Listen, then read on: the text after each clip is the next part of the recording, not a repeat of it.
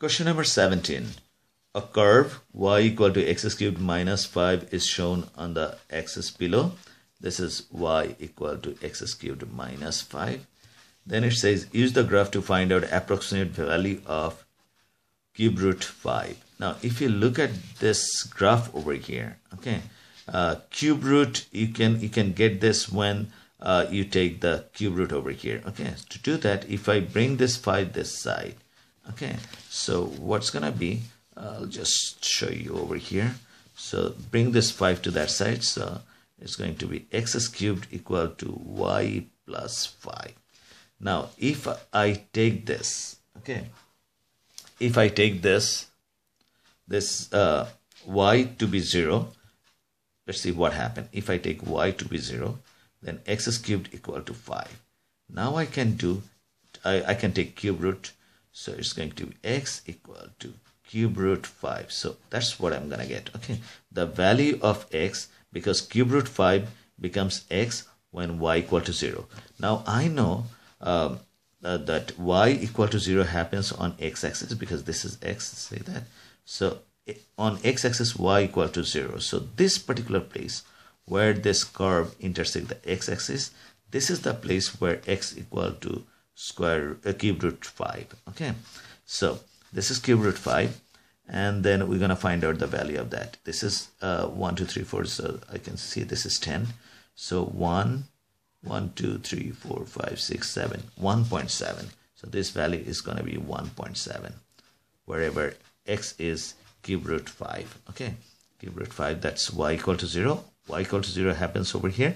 So, so the curve is giving the value x's value 1.7 now next one. Write down the coordinates of the point where the graphs crosses. Okay so graph crosses two particular places. One is over here. Okay that's uh that's uh, um uh, uh no no let me uh on the on the axis above draw this. I have to draw this one okay? Then i have to see that. So whenever i put x equal to 0 then y equal to 15 so x equal to 0 y equal to 15 right? This point over here. And then when you can see that I hope that when x equal to 0 then y becomes 15 okay and when x uh, y equal to 0 see that y equal to 0 then we have 5x equal to 15 x equal to 3 so y equal to 0 3 and that's 0 so what are you gonna do? We're gonna join this line uh, these two points to get a line. Okay that's my y equal to 15 minus 5x okay. Now it says write down the coordinates to the point where the graphs cross. So graph crosses right over here. Okay. I can see that it's 2.1 so it's 2.1 the x coordinates 2.1 whatever the y coordinates this is 5 so it's in between 1 2 3 4 4 and 5 so i can take 4.5 okay. So that's the coordinates where this graph uh, crosses. So 2.1 4.5 you don't need to write down here but just to show you. Now look at question b3 it says the x coordinates of the point where the graphs cross is a solution of this. X is cubed equal to a plus bx if you look at this x is cubed x cubed equal to a plus bx. It looks similar to that only if you take the 5 that side. So x cubed equal to y plus 5 something like that. See? So what I'm going to do I have y equal to x cubed minus 5 since it says two graphs cross and another graph is and y equal to 15 minus 5x. So y y same. So I'm going to replace this this value of y over here so x cubed minus 5 equal to 15 minus 5x. Okay. Now I'm I'm checking this one and somehow I'm gonna match this equation with this one. Okay. Somehow I'm gonna express this one in this form. So x cubed I have it here. So if I bring this 15 uh, 5 over here is gonna be 15 plus 5 see negative becomes positive minus 5x and that's 20 minus 5x now compare this okay since I have x cubed on my left hand side x cubed equal to a plus bx. So x cubed x cubed. Now a becomes 20. So put the value of a 20 and over here x is x. Now b is positive here, here. So b is supposed to be minus 5. Okay, so this one is done. It was a little, little tricky, but I think you can handle that. Okay, now question number 18. Okay, question number 18. The diagram shows the position of a harbor H, that's harbor H, and a lighthouse L. A boat is anchored at B where L LHB is 108 degree. Given that the bearing of B, bearing of B from H is 125, so bearing the angular distance from north. Find the bearing of L from H, L from H. So L from H, this is the angle they are asking to find out. So this whole thing, and we can see that this is 125 plus 108. So 125 plus 108, that becomes 8 plus 5 is, uh, let, let me just calculate it over here. That's 13 carrying 1, that's 3, and this is 2. So this is 233 degree. So A1 answer is 233 degree. Now H from B, H from B, whenever it says from, I just draw plus sign like that, north is this side. H from B means this angle we are looking at, okay. Now this angle over here, 125 equals to this one, 125, because they are alternating triangles. Okay, so this is 125 and this one we know 180. So this is 180 plus 125. So 180 plus 125, that gives me 5. 8 uh, plus 2 is 10, carrying 1, 1, 2, 3. So 305 degree. Okay, so this A2 is 305 degree. Now next one, at 7.30 a.m., at 7.30 a.m., the boat sets sails in a straight line from B, from B to H, from this place to this place, at an average speed. So speed is given 25 kilometer per hour. Okay. Given that BH, the distance also given 70 kilometers. So distance is given 70 kilometer. Find the time. What is the time at uh, at which the boat reaches the harbor from here to here? So if you remember the triangular rule, um, distance and st so t is distance is up and speed is down so that's t so we're going to use that formula here so t equal to distance over speed. Distance is given 75 kilometer. Be careful with the unit. It's kilometer kilometer so we don't need to worry about anything. 25 kilometer per hour. Okay so kilometer kilometer cross out hour gonna go up. And this is gonna be uh, uh, 25 so that's 75 oh, sorry 70 i'm sorry. This is 70 okay so i can cross out by 5 5 5s are 5 1s are 5 then 5 4s are 20 so this is going to be 14 by 5 now 14 by 5 gives me um, 2.48 uh, 8 hour. Okay so uh, I need to find out because they're asking for find the time. Okay so 2 hours 0 0.8 hour. Okay I'm doing manually because this is non-calculator version plus 0 0.8 it can be written as 8 by 10 but hour can be written as 60 minute so that's that's cross out giving me 6 so it's 2 hour 8 4 uh, 8 6 48 minute. Now remember uh, the, the, the boat leaves at 7.30. So 7.30 and then it takes 2 hour 48 minutes. Add that. Now this if I add it just simple way add it uh, it's going to be 78 and this is going to be 9 but the problem is after 60 if it's more than 60 minutes that becomes 1 hour. So if you take 60 minutes from here so it's going to be 18 minute and one hour added over here. So 10 18 this answer of question b would be 10 18 that's the answer. Okay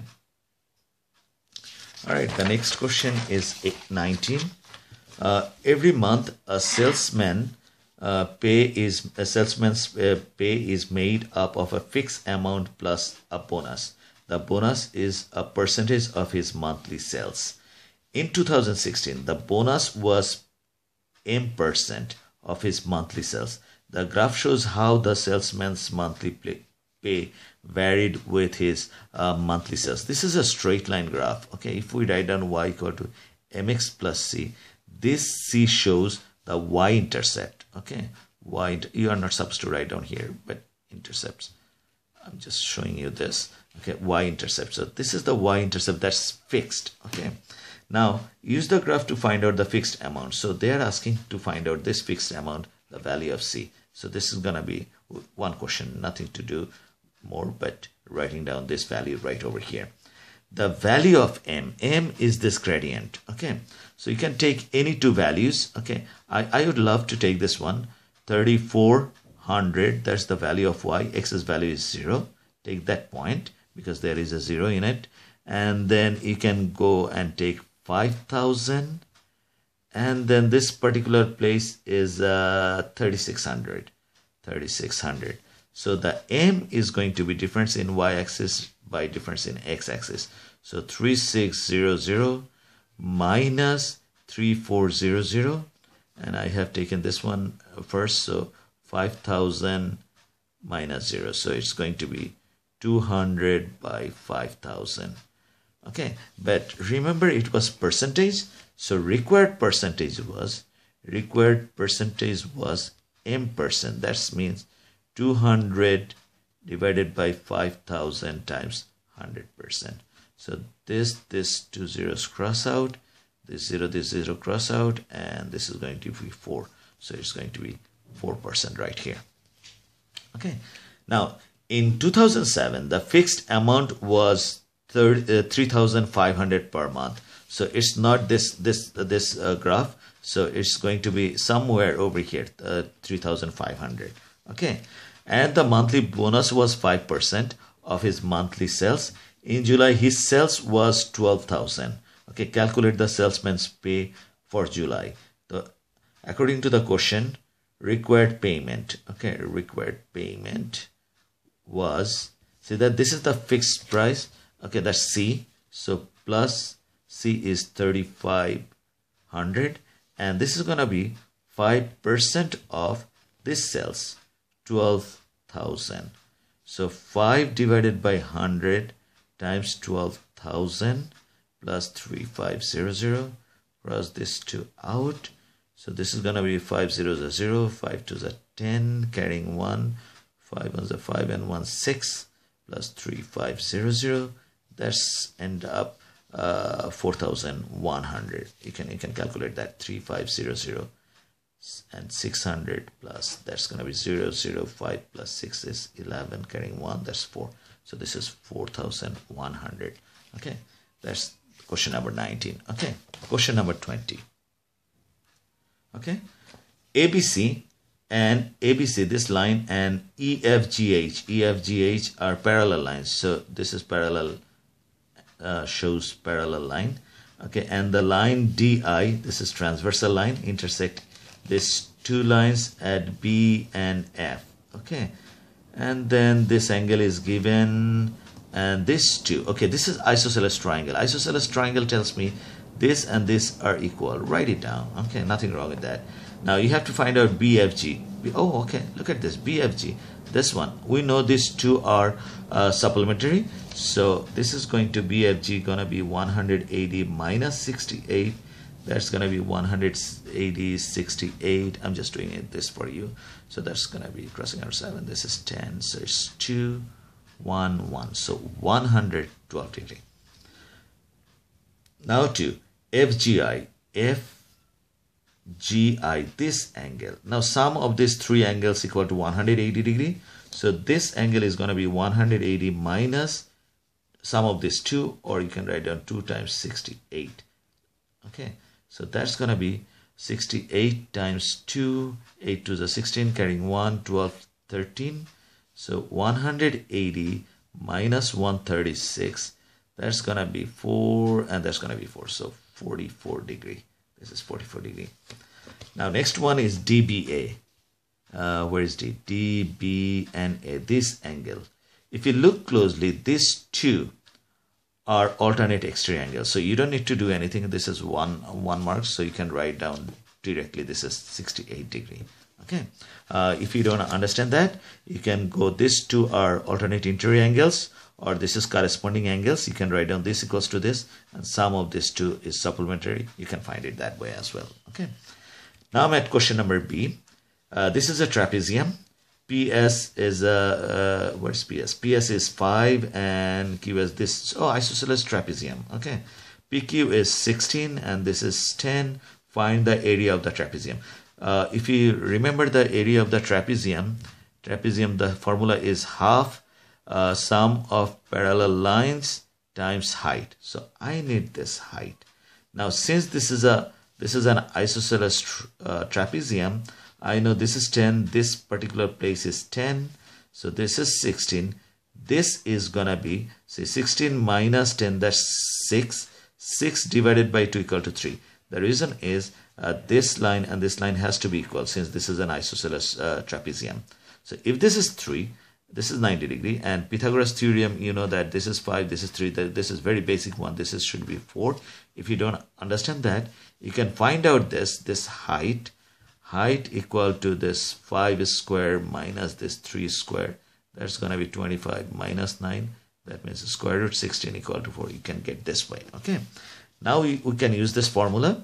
So area of the trapezium half parallel side is 10 and 16 10 plus 16 and height is our 4 so if I cross this on it's 2 then 10 plus 16 is 26 times 2 so it's going to be 52.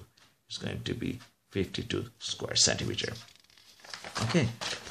Now we are coming to the factorization. Now expand and simplify. That's A.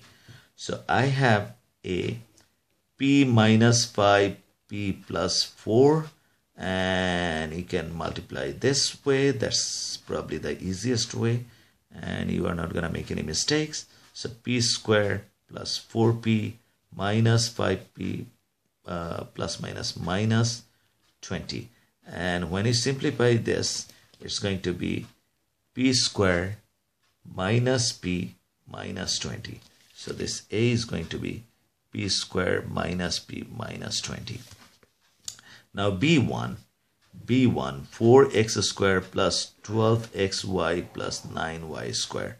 Uh, this is kind of interesting if I can write down this one 2x whole square and this one is 3y whole square see that this is going to be 9y square and this is going to be 4y square and if I put this thing over here 2x and bring this thing over here 3y all I have to see if this two matches or not 2 2s a 4, 4 3s are 12 and xy. Yeah, it does. So it's in the form of a square plus 2ab plus b squared. We know that a plus b whole square equal to a square plus 2ab plus b square. If we can write from here to here, then obviously from here we can come to this.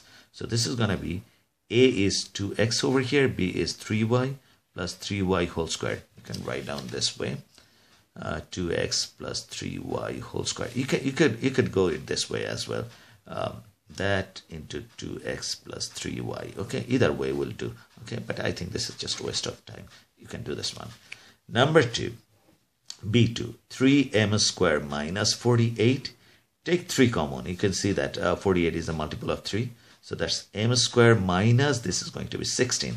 Don't stop there because 16 is a perfect square. So you can write down m square minus 4 square and that's in the format of a square minus b square and you can write down a plus b a minus b. The reason is it says factorize completely. If you stop over here, you're going to lose marks. So it's going to be 3 m plus 4 m minus 4. So this is going to be 3 m plus 4 m minus 4. Done. Okay, 22. The equation of the line L is given this. Write down the gradient of the line. So we're going to write down this one in the form of y equal to mx plus c. And this m is our gradient.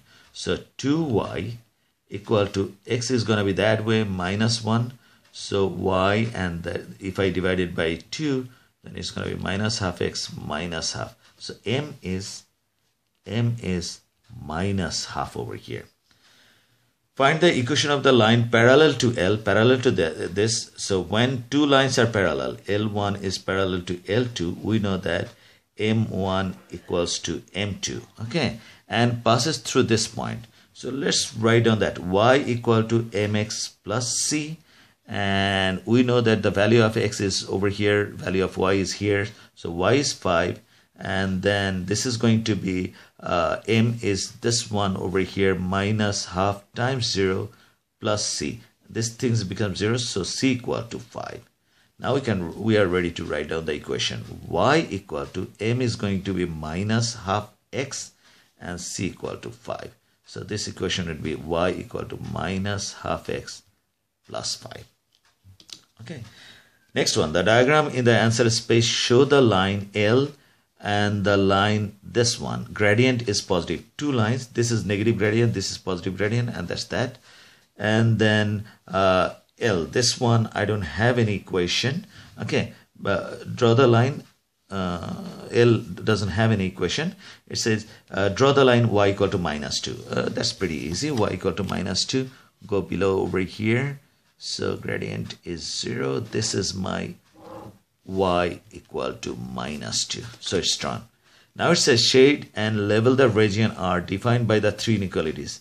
Greater than y is greater than minus 2. It has to be over this line. Okay, so over this line. It can be this, this, this, this, anything okay now this one is uh, greater than this one as well okay now over here just um, forget about this it should be this one. So I have this this this this four region.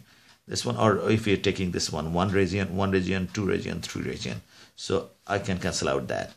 And the last one okay 2x plus one uh, sorry I have done that one I have done that one. Now this one. Now this one if you write down y 2y equal to uh, less than or equal to minus x minus 1. This is negative gradient, so this is the equation of this line. It's less than, so it's supposed to be over here. So when it's sh shaded, so this region is over here. Okay, most of you probably shade this region over here, but that's to be wrong. You can pick any point over here. This is uh, minus 3, 0, and put this in this equation. Uh, y is 0, 0 is greater than or equal to minus 2 does it make sense? Yes, it does. So we are okay. And over here, x is minus 3. Then y is 0. 0 times 2 is 0. That's less than or equal to minus 1. This is less than minus 1. That's also okay. And uh, y is 0. So this is 0 is greater than or equal to minus 3 to the 6 plus 5 minus 5. And that's also okay. So we are okay. This is our shaded region. Okay. Now the last one. Okay, the graph shows the cumulative frequency curve for uh, the playing times of the individual tracks of Andrew's MP player. Okay, use the graph to find out the median.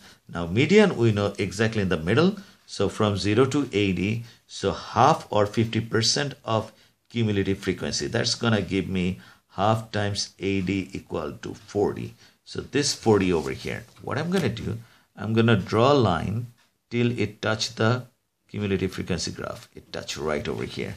So the question is asking me to find out this value over here. Okay, playing time right over here. So it's 4, 1, 2, 3, 4, 5, 6. So this is going to be 4.6 minutes. Okay, then it says the interquartile range. Now interquartile range is, if you remember, that's 1, this is 2. Interquartile range is Q3 minus Q1. Okay, Q3 is going to be um, 3 by 4 times cumulative frequency, that's 80.